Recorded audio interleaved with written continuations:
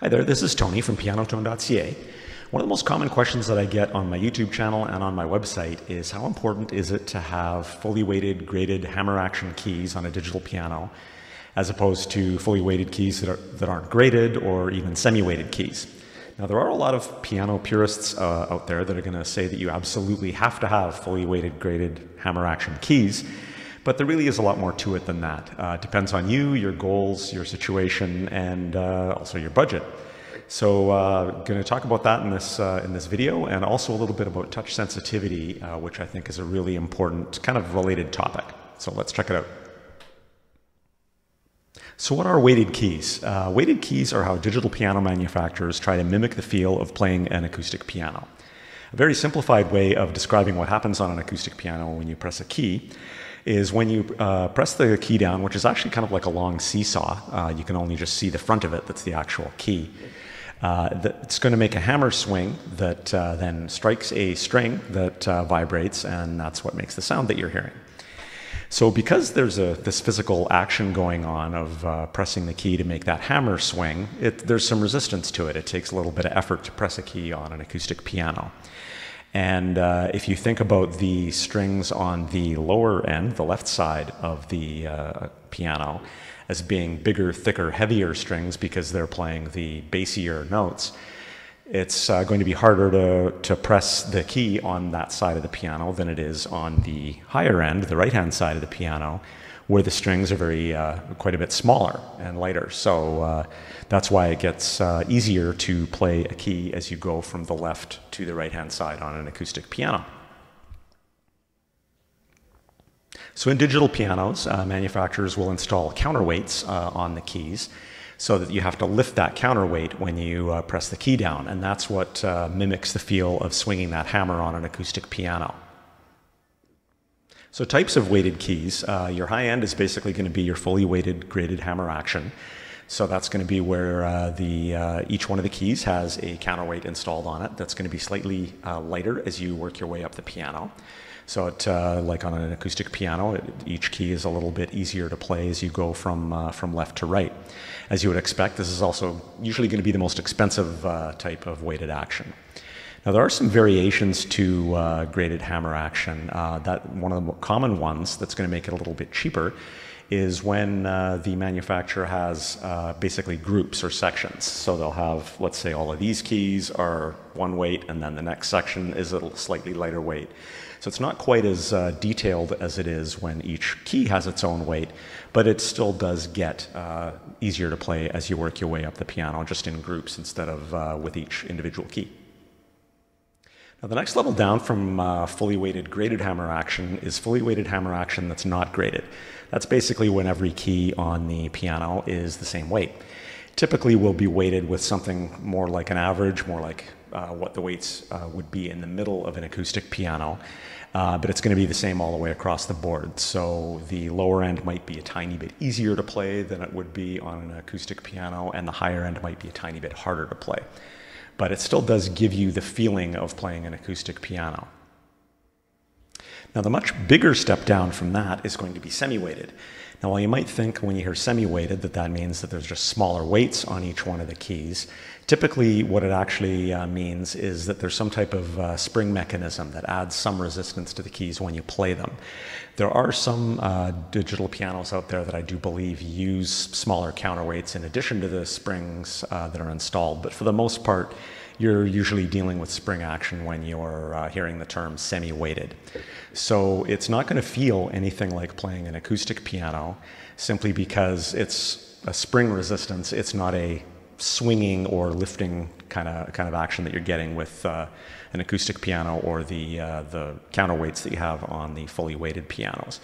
You stu- do still get some resistance when you're uh, when you're playing, so your fingers do get used to having that resistance under them, but it really doesn't feel the same as a as an acoustic piano does. So to compare all of the above actions, uh, fully weighted graded hammer action keys with individual weights per key is definitely going to give you the closest uh, approximation to what an acoustic piano feels like.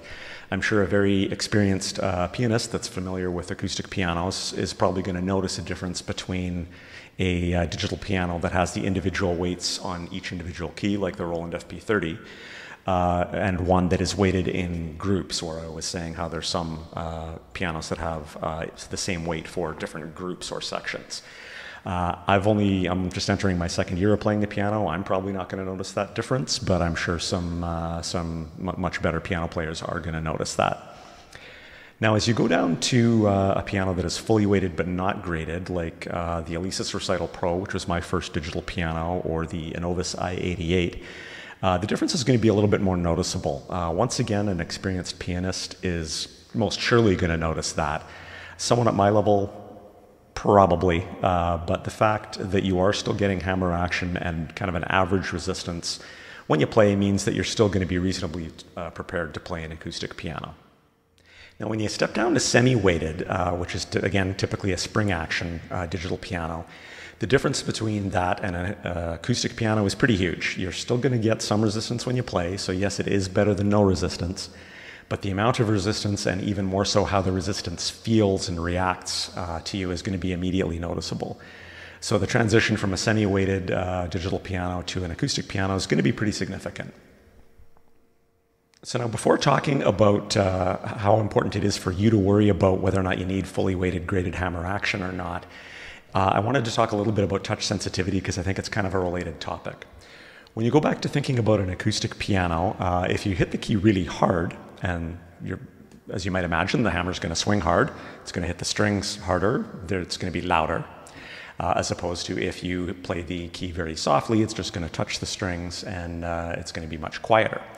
When you play it hard, it also might even uh, make an additional sound in addition to the resonance of the strings vibrating after it's been hit. You might actually hear the uh, hammer striking the strings because it's hitting it so hard. Uh, that, the way that that is uh, mimicked in digital pianos is uh, what we call uh, touch sensitivity. That's basically where some type of uh, a velocity sensor is installed that senses how hard you're uh, uh, depressing the keys, how fast you're, you're hitting them down, and then it will adjust the volume accordingly.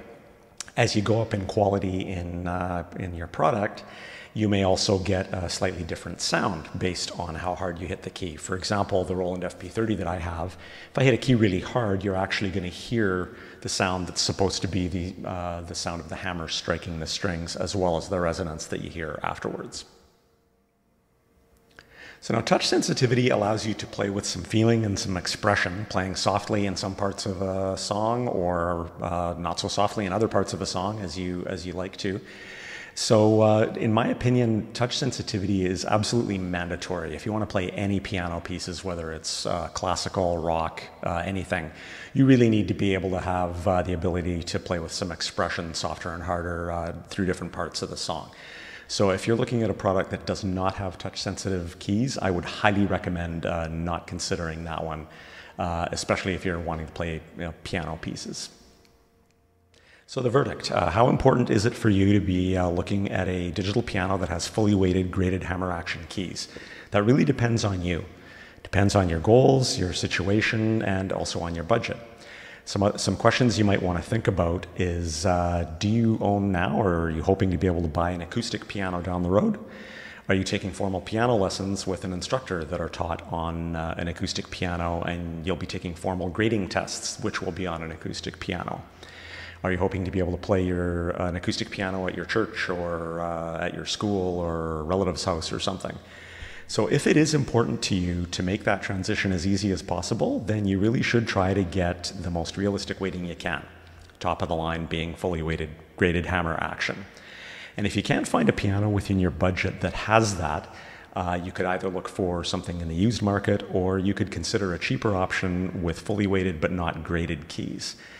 As I mentioned before, it's not as realistic as the graded hammer action, but it is still reasonably close, and it's a much better approximation than semi-weighted is going to be.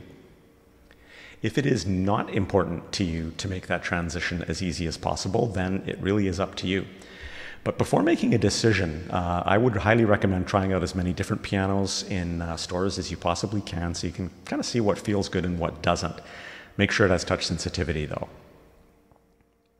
So I'd like to share how uh, my experience was uh, when I bought my first uh, couple of uh, keyboards. When I first started, I didn't really know much about uh, weighting of keys, weighted versus semi-weighted. And the first uh, keyboard that I bought was kind of an entry level Casio keyboard that I bought because the salesperson, emphasis on sales, told me that this keyboard was just like a piano because it had touch sensitivity, even though it didn't have weighted keys at all, not even semi weighted.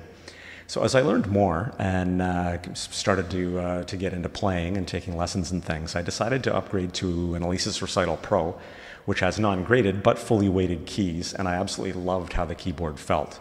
Uh, so for me, even though I have no acoustic pianos in my life, I would still like to have that transition be as easy as possible. And I also just happen to prefer the feeling of, uh, of a weighted keyboard. So uh, I'll always own something, uh, something that's weighted. Uh, I should also note that I know of multiple professional gigging musicians who prefer semi-weighted pianos, so really is to each his own. If you don't have that need to be able to transition to an acoustic, then it really is kind of up to you.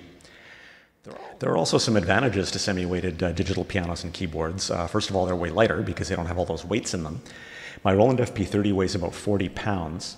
Uh, the Alesis Recital, not the Recital Pro, but the Recital, which is a semi-weighted version of the Alesis, uh, weighs 16 pounds. Uh, so if portability is important to you, this might be something to consider.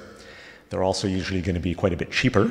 And uh, also, if you hope to be playing some organ or synth uh, style music as well as piano pieces, you might prefer the lighter feel of a semi weighted keyboard. So I hope this helps and happy piano shopping. Have a great day.